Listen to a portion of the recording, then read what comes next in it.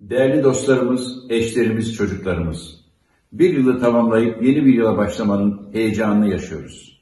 Tamamlamakta olduğumuz yıl içinde veren el alan elden üstündür dediniz, içtenlikle yardımlar yaptınız.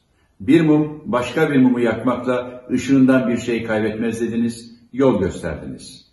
Önemli olmak iyidir ama iyi olmak daha önemlidir dediniz, alçak gönüllülükle herkesin yardımına koştunuz kendinden önce hizmeti ilke edinerek bu ülkenin size verdiklerini ihtiyacı olanların daima yanında olarak onlara sundunuz. Ve hepsinin ötesinde düşündüklerimiz, söylediklerimiz, yaptıklarımız gerçeğe uygun mu? İlgililerin tümü için adil mi?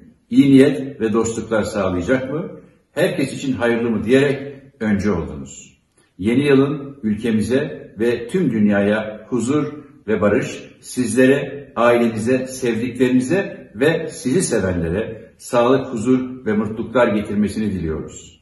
Güzel bir yeni yıl için haydi hep.